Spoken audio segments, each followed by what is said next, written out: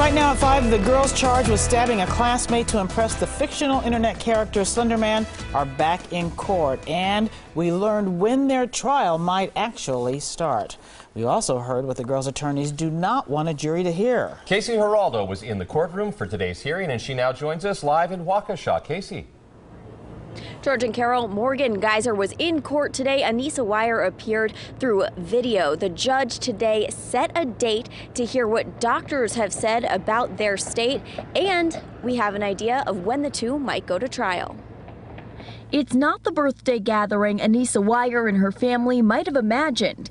In court by video one day after she turns 15, on a screen next to her co defendant, another teen also accused of stabbing a 12 year old classmate in 2012.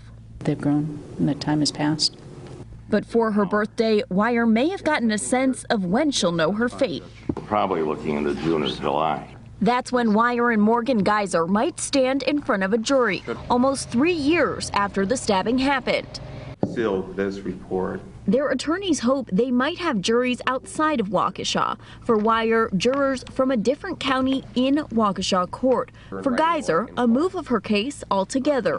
Their attorneys also want the girls to stand trial separately. Geyser's lawyer says the girl in court today she's responding and listening to the things that we were talking about and she was engaged in the process is a far cry from the girl she was when the stabbing happened which doctors will have to describe they're going to be the ones who have to communicate to the jury how, what she was like and how her functioning was then. As for what won't happen in court, both girls' attorneys want their clients' confessions to police after the stabbing left out of their trials. The attorneys have filed motions on all of those items, and those arguments and the decision from a judge will be made in February. That's when they plan to talk about a trial date. Live in Waukesha, Casey Geraldo, today's TMJ4. Thank you, Casey.